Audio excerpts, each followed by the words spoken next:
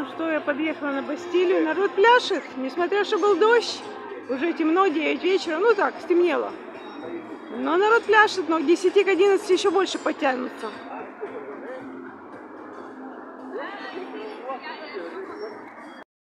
Пойду погуляю. Здесь недалеко Рюляпе. Там много ночных клубов, баров. Я пойду туда погуляю сейчас. И потом вернусь, немножко стемнеет. Сейчас еще светло. На этом, же месте, где все танцуют, обычно по воскресеньям базар проходит. Четверг-воскресенье. Здесь волонтеры дают бесплатно еду, кому надо. Прямо напротив памятника Бастилии. Так, от памятника Бастилии я иду в сторону латинской деревеньки где все тусят. Сегодня понедельник, в принципе, все закрыто, но эта улица там пожизненно весело. Там в два ночи, как в 7 вечера везде. Вот я подхожу к нашему месту, где мы все тусим. Наш клуб закрыт до сентября, народ ушел в отпуск. Поэтому народ гуляет где как может.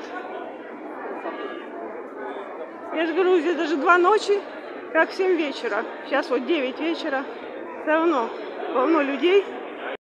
Не все бары, не все рестораны открыты, но часть работает. Вначале улицы шумно, а потом тихо, потому что сегодня понедельник, народ отдыхает. По понедельникам практически все клубы закрыты. Поэтому дальше там только в конце тоже рестораны, они открыты, ну все тихо. Приду еще, может быть, сюда в пятницу. Здесь в пятницу вообще народ гудит до утра, до 5 утра. Возвращаюсь на Бастилию. Не знаю, буду танцевать или нет. Народ подтягивается. Посмотрю, кто там еще появится. Возвращаюсь на Бастилию. Рю де Лапе я была. Здесь никогда не бывает тихо на Бастилии. На Бастилии.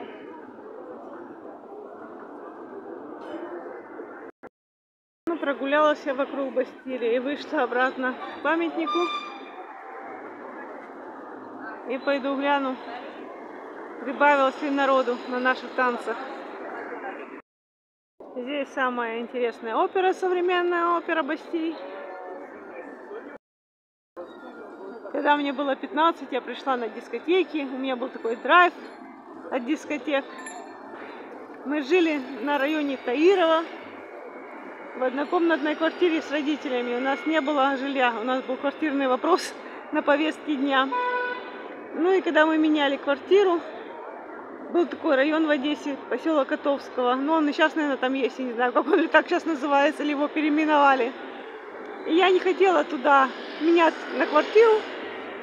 И говорю, маме, ну как я туда выйду на дискотеки, туда-сюда. Она говорит, ну ты же не будешь всю жизнь на дискотеки ходить. Когда мне было уже больше 20. Но мне уже 50, и я все хожу на дискотеки. И в этом парадокс. Мои родители познакомились на дискотеке, они им было уже под 30 лет. Когда-то в Одессе, в парке Шевченко, там были дискотеки, там познакомились мои родители.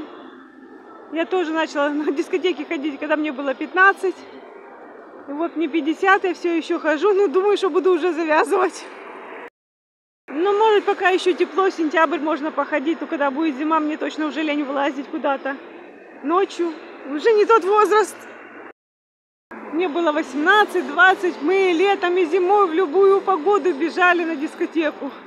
Танцевали во всей экипировке, в полушубках, в джинсах. Все на нас было, негде было гардероб поставить. Куча вещей на нас было, и мы танцевали в этой одежде. Как шейпинг. Сразу несколько килограмм сбрасываешь. Что, если кто захочет потанцевать, на Бастилии танцуют, на площади республики тоже танцуют.